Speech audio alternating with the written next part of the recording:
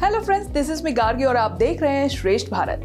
मुकेश अंबानी के लाडले और छोटे बेटे अनंत अंबानी की शादी से करीब पाँच महीने पहले प्री वेडिंग फ़ंक्शन का शानदार आगाज़ हुआ। वो भी जामनगर में। तीन दिनों तक इस इवेंट ने सोशल मीडिया पर खूब धूम मचाया। एक मार्च से तीन मार्च तक हर कहीं बस अंबानी फैमिली की ही चर्चा रही। इस खास मौके पर पहले दिन रिहाना ने तूफानी डांस परफॉर्मेंस से आग लगा दी और हर तरफ़ उनकी ही वाह वाही रही। तो वहीं दूसरे दिन के इवेंट में बॉलीवुड सितारों ने जमकर परफॉर्म किया।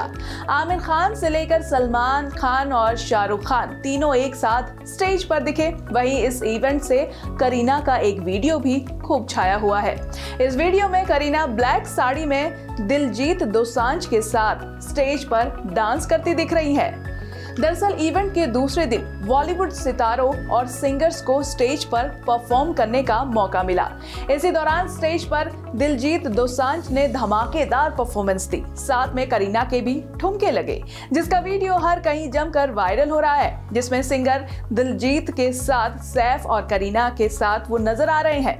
दिलजीत दोसांझ के गाने पर इस वीडियो में करीना ब्लैक साड़ी में कमाल के ठुमके लगाती दिख रही हैं। दिलजीत ने करीना और सैफ को स्टेज पर बुलाया, जिसके बाद बेबो थोड़ी सी शर्माती नज़र आई।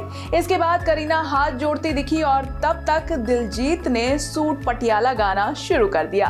एक्ट्रेस को सोचने तक का मौका नहीं मिला और वो उनके गाने पर कमर लचकाती दिखी। इसके बाद वहाँ खड़े सैफ अली खान करीना का डांस देखकर साइड हो गए। अब इस वायरल वीडियो पर लोग जमकर कमेंट कर रहे हैं। एक ने कहा, बेबो और दिलजीत की जोड़ी मस्त है। एक और ने कहा, उफ, करीना के नखरे, क्या मूव से उनके? ये तो होना ही था। बेबो डांस करे और कोई मुड़कर उन्हें ना देखे, ऐसा कैसे हो सकता है? बाकी ऐसे ही लेटेस्ट न्यूज़ से अपडेटेड रहने के लिए सब्सक्राइब करें श्रेष्ठ भारत को। श्रेष्ठ भारत पर खबरों से जुड़े रहने के लिए चैनल को सब्सक्राइब करें। बेल आइकन दबाएँ और देखते रहें श्रेष्ठ भारत।